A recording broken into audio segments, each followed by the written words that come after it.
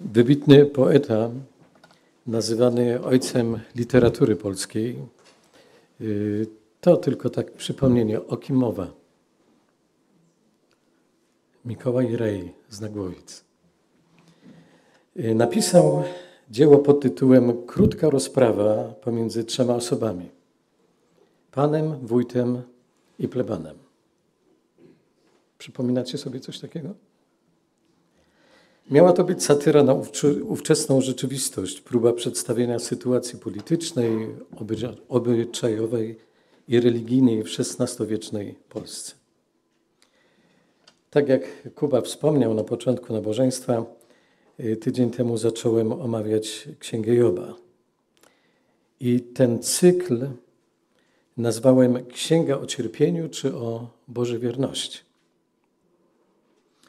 ale również można by ją było nazwać, parafrazując słowa Mikołaja Reja, krótką rozprawą.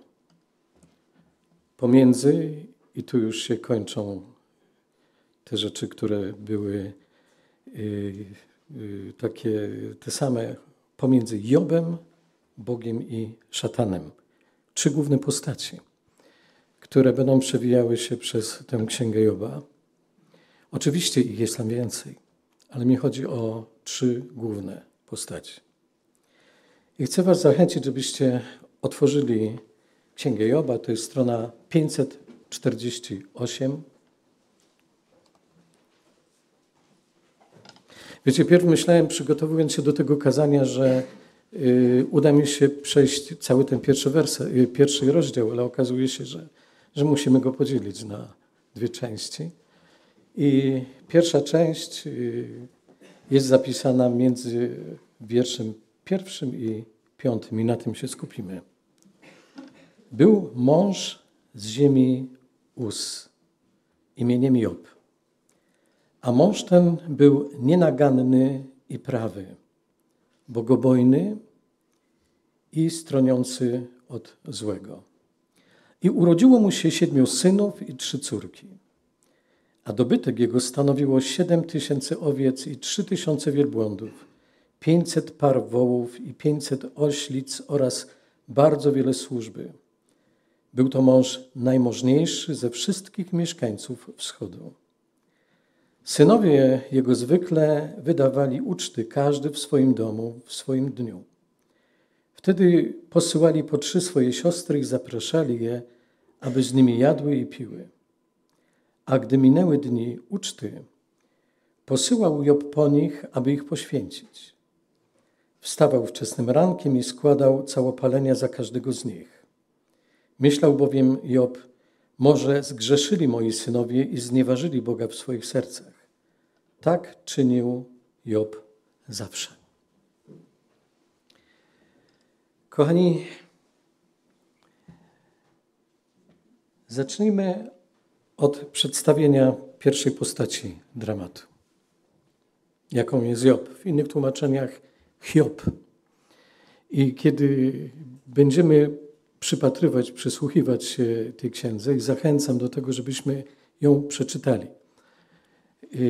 Do następnego razu, do końca ten pierwszy werset, bardzo Was proszę, ale żebyście też mogli już oswajać się z treścią Y, pozostałych y, rozdziałów.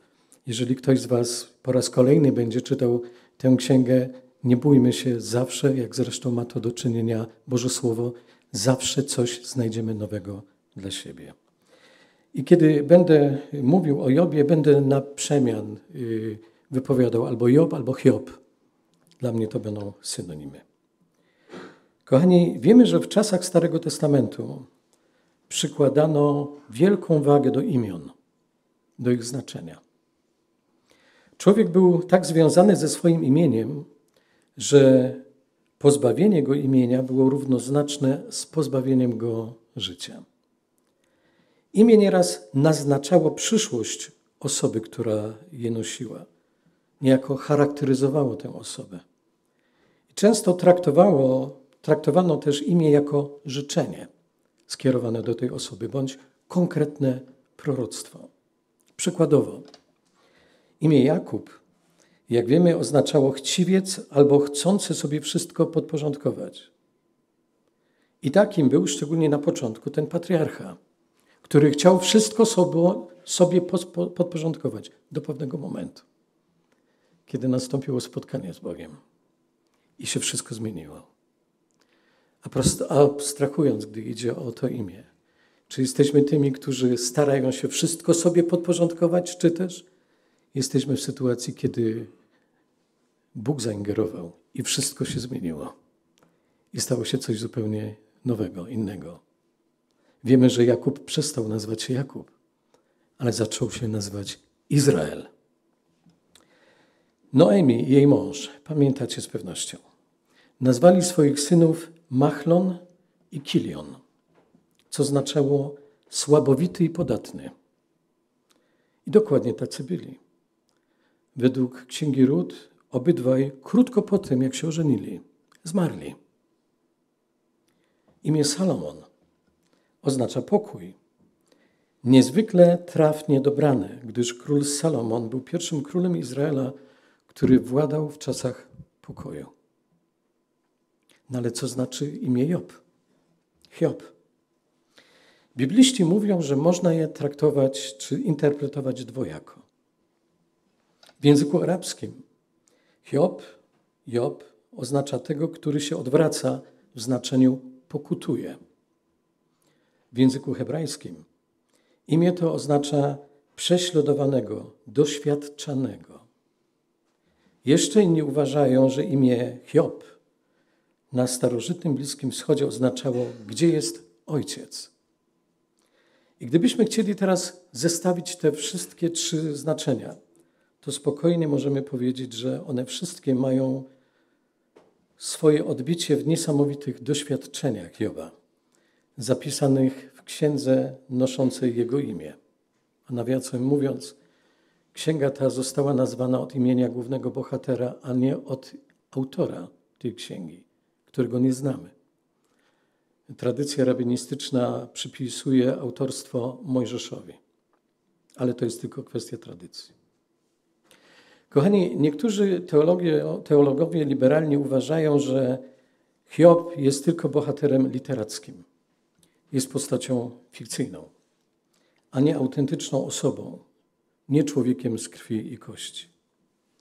Ale spójrzmy do słowa.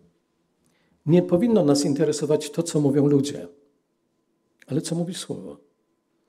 W księdze Ezechiela czytamy, 14 rozdział, wiersz 13-14. Synu człowieczy, jeżeli jaki kraj zgrzeszy przeciwko mnie i ja wyciągnę swoją rękę przeciwko niemu, to choćby nawet byli z nim ci trzej mężowie, Noe, Daniel i Job, wybawiliby swoją sprawiedliwością tylko swoje własne dusze, mówi wszechmocny Pan. W liście Jakuba w piątym rozdziale, w jedenastym wierszu, czytam według najnowszego tłumaczenia Y, czyli ten najnowszy przekład dynamiczny. Tylko ci z nich, którzy wytrwali, doświadczyli wiecznej szczęśliwości. Przypomnijcie sobie także o wytrwałości Hioba i nagrodzie, jaką na końcu otrzymał od Pana. Pan bowiem jest łaskawy i pełen miłosierdzia. Kochani, jeżeli wierzymy w to, że Biblia jest Bożym Słowem, to wierzymy, że Hiob jest postacią historyczną, a nie fikcją literacką. Co o nim wiemy? Poproszę, żeby Marek y, włączył slajd. Proszę, byście również mogli wyłączyć y, oświetlenie, żeby ten slajd był czytelny. Według wiersza trzeciego był to mąż najmożniejszy ze wszystkich mieszkańców wschodu. Nie udało mi się żadnego znaleźć kolorowego, stąd ten czarno-biały. Wschodem określano region, który leżał na północny wschód od terenów, na których osiedlił się Izrael po zdobyciu ziemi obiecanej. W pobliżu pustyni, w wierszu 19 czytamy. Prawdopodobnie gdzieś między Damaszkiem, teraz stolica Syrii, a rzeką Eufrat. I praktycznie ten okrąg nam ma pokazać, o jakim miejscu mówimy, o jakim terenie. Współcześnie to region w okolicy granicy między Irakiem a Arabią Saudyjską. Co oznacza, że Hiob nie był ani Izraelitą, ani nie był mieszkańcem Izraela. Nie był ani Izraelitą, ani mieszkańcem Izraela. Natomiast jeżeli czytamy Księgę Hioba, odnosimy wrażenie, że mamy do czynienia z człowiekiem, który jest niejako wychowany na Bożym prawie, który zna doskonale Boga, aczkolwiek wiele razy pyta o wiele rzeczy i Bóg daje mu odpowiedź. Kochani, druga rzecz. Hiob prawdopodobnie żył przed Abrahamem albo w jego czasach. Wielu biblistów uważa, że Księga Joba to jedna z najstarszych ksiąg Biblii i opisuje historię z czasów przed Abrahamem. Wniosek taki wypływa po części z tego, że Księga Joba nigdzie nie wspomina o opartym na przymierzu związku Izraelitów z Bogiem, który był rdzeniem hebrajskiej historii od czasów powołania Abrahama. Na podstawie tych obserwacji można by powiedzieć, że Hiob żył pomiędzy zbudowaniem wieży Babel, Babel, Babel i powołaniem Abrahama, albo na krótko przed tym. Pomimo tego, tak jak powiedziałem, czytając Księgę Joba, możemy być zaskoczeni, jaką wiedzę na temat Boga posiada Hiob. Gdybyśmy popatrzyli na oryginał hebrajski, to zwrócilibyśmy uwagę, że w Księdze Hioba 38 razy Hiob nazywa Boga El Shaddai, jako wszechmogący, posiadający wszelką moc, wszechwystarczalny. Te imiona zostały podane zanim praktycznie lud izraelski zetknął się z Bożym prawem. Kochani, dalej. Bóg był nadzwyczaj prawym, Job był nadzwyczaj, nadzwyczaj prawym człowiekiem. W wierszu pierwszym czytamy niezwykłą jego charakterystykę. Mąż ten był nienaganny i prawy, bogobojny i stroniący od złego. Moglibyśmy powiedzieć, co za niesamowite referencje. Co za opinia. Job trzykrotnie został opisany w ten sposób. Wiersz pierwszy, wiersz ósmy i wiersz trzeci, gdy idzie o rozdział drugi. W dodatku, czy zwróciliśmy uwagę, kto jest autorem tych słów? Kto się tak wyraża na temat Hioba? To nie pracujący dla niego jakiś PR-owiec, to nie jest asystent, któremu zależy na premii czy podwyżce. Autorem tych słów jest sam Bóg. To Bóg znający Hioba jako nikt inny, prześwietlający jego charakter i sposób postępowania. I określa go za pomocą czterech określeń, epitetów, aczkolwiek epitet nie zawsze kojarzy się z czymś pozytywnym. Ale Bóg określa Hioba używając czterech sformułowań.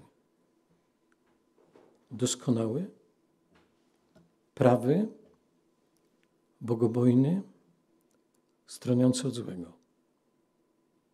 Doskonały. To, że Job został nazwany nienagannym, inaczej doskonałym, sprawiedliwym, może sugerować y, pozornie, że przypisano mu cechę, która przynależy jedynie samemu Bogu, bo przecież Bóg jest doskonały. Jak więc człowiek może być doskonały, albo jak możemy powiedzieć o kimś, że jest doskonały? O Bogu czytamy tak w piątej Mojżeszowej. On jest Bogiem wiernym, sprawiedliwym, doskonałym i prawym. Czy w drugiej Samuela Bóg jest doskonały w swoim postępowaniu. Ale kochani, mówiąc o doskonałości, nie chodzi tu o bezgrzeszność, bo sam Hiob kilkokrotnie mówił, że jest człowiekiem grzesznym. Nienaganność, sprawiedliwość, doskonałość oznacza wierne trzymanie się Bożych zasad oraz uczciwe i pełne współczucia podejście do innych ludzi. Doskonałość, prawość, nienaganność oznacza wierne trzymanie się Bożych zasad oraz uczciwe i pełne współczucie podejście do ludzi. Kimś takim musiał być Hiob, skoro Bóg go tak określił. Musiał się wyróżniać, gdy chodzi o ludzi, których, z którymi żył, pośród których funkcjonował.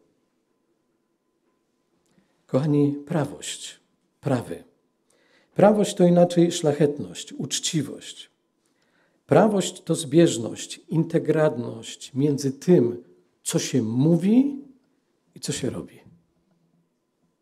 Prawość to jest integralność pomiędzy tym, co ja mówię i co ja robię. Cechę tę dobrze oddaje hebrajskie słowo tom, które wyraża coś pewnego i stałego. Zawiera w sobie też ideę solidności i rzetelności. I w praktyce prawość oznacza sumienne wykonywanie pracy, nawet jeżeli nikt nie patrzy. Czujecie to? Sumienne wykonywanie pracy, nawet jak nikt nie patrzy. Dotrzymywanie danego słowa. Powiem Wam, że kiedy zacząłem czytać to zestawienie, to coraz bardziej mi kolana miękły. Dotrzymywanie danego słowa. Brak obłudy i podwójnych, podwójnych standardów. Prawość przekłada się na uczciwe podejście do finansów, na osobistą odpowiedzialność, na czystość moralną. Osoba prawa nie manipuluje innymi ludźmi, nie jest skłonna do arogancji ani nie jest spragniona pochwał. Prawość to uczciwość za wszelką cenę. Jak popatrzylibyśmy na kolejne informacje, Job był bogobojny, bojący się Boga. Bogobojność to słowo używane coraz rzadziej. Wydaje się wręcz, że jest to archaiczne określenie. Jego rdzeń wskazuje, że taka osoba boi się Boga. Co to znaczy? Nie chodzi o strach przed Bożym gniewem, co wcale nie, nie znaczy, że będę teraz za pan brat z Bogiem i nie będę w ogóle liczył się, z kim mam do czynienia. Ale przede wszystkim, gdy idzie o bogobojność, to chodzi o kwestię poważania Boga, okazywanie Bogu, Bogu szacunku, oddawanie Bogu czci. Osoba, która boi się Boga, stawia go w każdej dziedzinie życia na pierwszym miejscu. W zamian Bóg nazwał Joba swoim sługą. To jest wiersz ósmy. I kochani, określenie mój sługa w Starym Testamencie używane było na opisanie osoby, która żyła szczególnie blisko z Bogiem. Mój sługa. Chodzi o relacje, o bliskie życie z Bogiem. I między innymi tak opisywano Mojżesza i proroków. I jeszcze jeden przydomek, gdy idzie o Joba. Stroniący od złego. Stronić od złego to znaczy mówić grzechowi nie. Dystansować się od tego grzechu. Dystansować się od tego, co jest złe, co się Bogu nie podoba. Pomyślmy na chwilę. Gdyby Bóg miał dzisiaj scharakteryzować każdego z nas, jakich określeń użyłby? Czy usłyszałbym, albo czy usłyszałabyś o sobie, że jesteś, jestem nienaganny, nienaganna, prawy, prawa, bogobojna, stroniący od złego? Kochani, gdyby nas miano scharakteryzować czterema słowami, nie jakimi jesteśmy, ale jacy jesteśmy, jakie byłyby to słowa? Gdybyśmy teraz taką listę pokazali swojemu współmałżonkowi, swojej żonie czy mężowi albo dzieciom, co by powiedzieli, patrząc na tę listę, na to zestawienie? Parsknęliby śmiechem? Co? Tata bogobojny i prawy? Moja żona nienaganna? Mój, żon, mój mąż niestroniący od złego? Śmiechu, śmiechu warte. Kochani, może ostatecznie tak o nas powiedzą. Wiecie, o kim się nie mówi źle? O umarłych. Nie wypada mówić źle. Stąd też nieraz jesteśmy w stanie, będąc na pogrzebie, usłyszeć informacje o kimś i potem zaczynamy stawiać sobie pytanie, chwileczkę, ale chyba mieliśmy do uczynienia z dwoma różnymi zupełnie ludźmi. Skarbie, y, kochani, wybaczcie, ale myślę też o swojej żonie.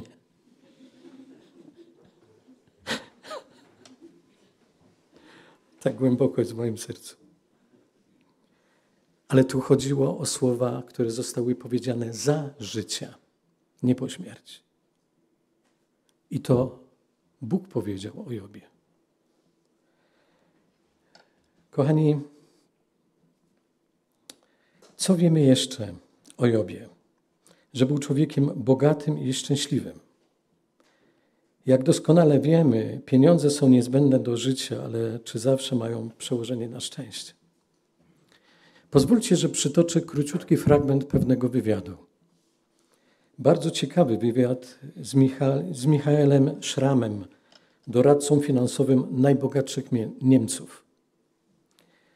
Z całą odpowiedzialnością mogę powiedzieć, że same pieniądze nie czynią człowieka szczęśliwym. Tylko nieliczni kryzusi czerpią radość wyłącznie z posiadanych pieniędzy. Doszedłem do takiego wniosku po wielu rozmowach i znajomościach zawartych z bardzo zamożnymi ludźmi. Od 20 lat doradzam w sprawach finansowych wielu milionerom i miliarderom. Na liście najbogatszych Niemców znajduje się ponad 300 osób. Przynajmniej z setką z nich wielokrotnie spotkałem się na wspólnym obiedzie. Dziennikarka i większość narzekała na smutne życie milionera? Nie było tak źle. Ludzie zamożni i szczęśliwi czerpią poczucie zadowolenia z innych źródeł niż pieniądze. Najczęściej opowiadają z dumą o osiągnięciach swoich dzieci lub działalności charytatywnej. Jeszcze nigdy nie widziałem milionera, któremu liśniły oczy ze szczęścia, kiedy prezentowałem zyski wypracowanego przez, wypracowanego, wypro, wypracowane przez jego kapitał. I proszę mi wierzyć, a było się czym pochwalić. Zatem jeszcze jedno pytanie. Nie istnieje bezpośredni związek między pieniędzmi a szczęściem? Nie wyciągałbym aż tak daleko idącego wniosku. Znam milionerów, multimilionerów, którzy zamienili posiadłość w pole uprawne, a w piwnicy domu zbudowali schron przeciwatomowy w obawie przed wybuchem III wojny światowej. Co z tego, że mają zamrażarki pełne zapasów żywności, skoro nie potrafią cieszyć się życiem? Tyle wywiad. Ale wróćmy do Joba. Możemy powiedzieć, że to ówczesny multimilioner, Bill Gates swoich czasów. Jego dzieci, a ma ich aż dziesięcioro, siedmiu synów, to z kolei jest symbolika biblijna. Chodzi o pełnię rodzinnego szczęścia. I trzy córki, mając tak majętnego ojca, też opływają dostatki. W wierszu czwartym czytamy: Synowie zaś zwykle wydawali uczty, każdy w swoim domu. Wtedy posyłali po trzy swoje siostry i zapraszali je, aby z nimi jadły i piły. Kochani, zwięzły styl opowiadania mógłby sugerować nieustanne świętowanie. Od rana do wieczora, gdy chodzi o dzieci Joba. Jednak jak uważają bibliści, chodzi tu o niereligijny charakter ich świętowania i może z okazji urodzin. I taką interpretację nasuwa zwrot zawarty w wierszu czwartym. Każdy w swoim domu. Chodziło o konkretne, jakieś ważne wydarzenia. Ale zarazem świadczy to również o silnej ich więzi rodzinnej. Więź rodzinna. Coś, o czym powoli zaczynamy zapominać. Skupiając się, koncentrując na sobie, zapominamy, jak ważną rzeczą jest rodzina. Co z tego, że będziesz miał pieniądze? Jak nie będziesz miał relacji ze swoimi bliskimi? Co z tego, że będziesz powodem, nie wiem, marzeń? Jak tak naprawdę, kiedy będziesz zamykał swoje drzwi, wchodząc do domu, zrzucisz maskę uśmiechniętego człowieka, uśmiechniętego człowieka i tak faktycznie popatrzysz na lustro, jeżeli będziesz miał na tyle odwagi i dojdziesz, dojrzesz wzrok człowieka, który tak naprawdę w życiu nie ma nic.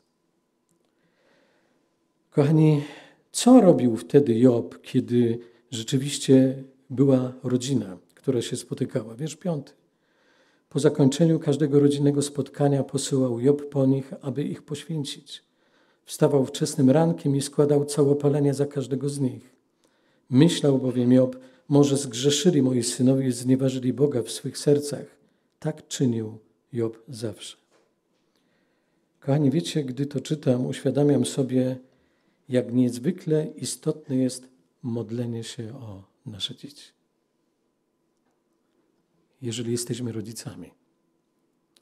Jak niezwykle istotne jest to, że modlimy się o nie. Obojętnie, czy idą drogami Pana Jezusa, czy nie. Ja jako ojciec jestem odpowiedzialny za swoje dzieci. Jak ważną jest moja rola, nawet jeżeli moje dzieci są już dorosłe.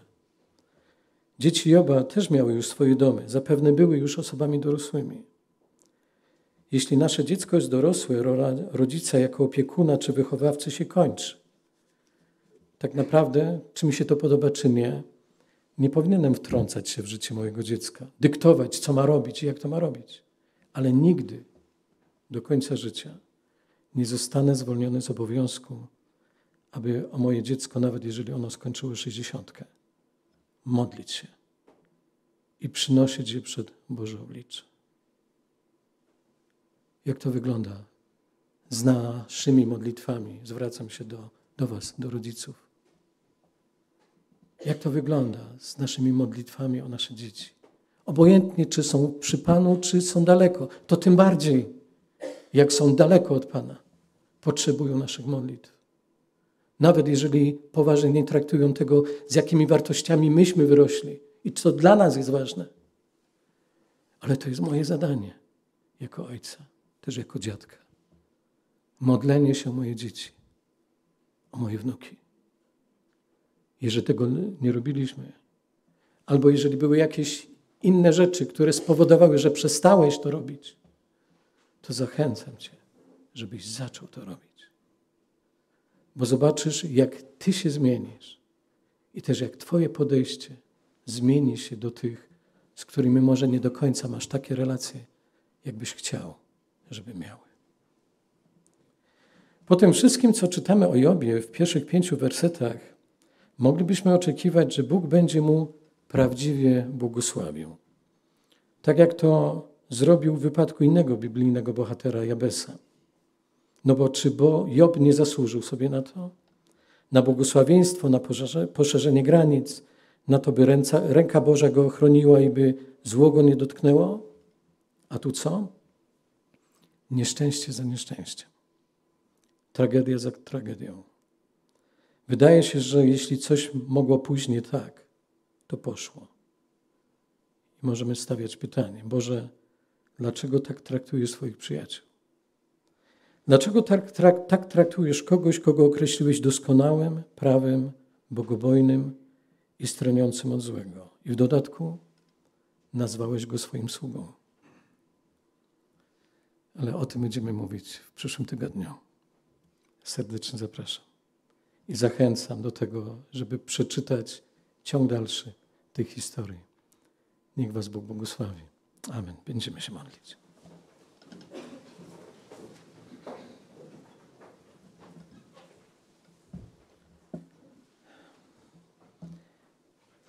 Ojcze, tak wiele możemy uczyć się z Twojego słowa. Tak wiele możemy uczyć się od ludzi, których postawiłeś na naszej drodze a jeżeli patrzymy na Twoje słowo, to których mamy w Twoim słowie. Dziękujemy, że mogą być dla nas zachętą. Nawet jeżeli pewne rzeczy nie rozumiemy, ale Panie, dziękujemy Ci, że Ty jesteś ponad wszystkim.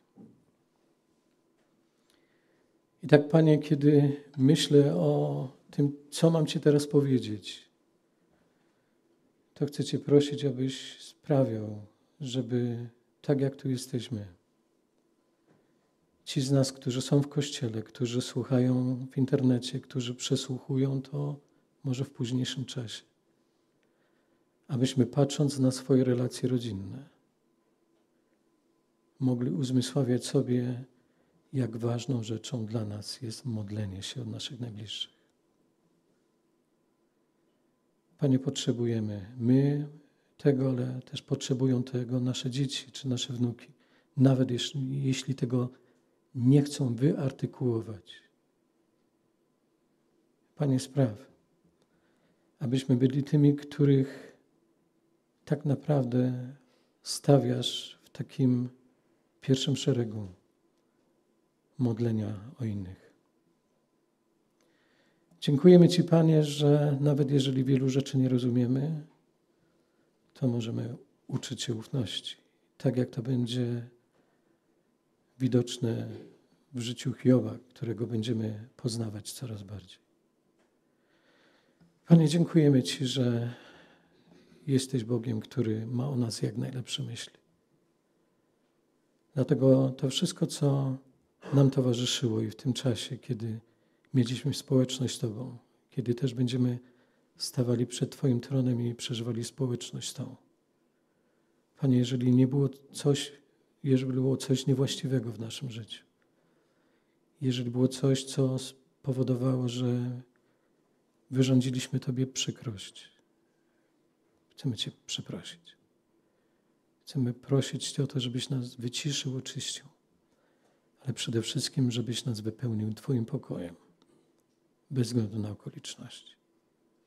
Oddajemy Tobie wszelką chwałę i cześć, a chcemy się o to modlić, Ojcze, przez Pana Jezusa, w mocy Świętego Ducha.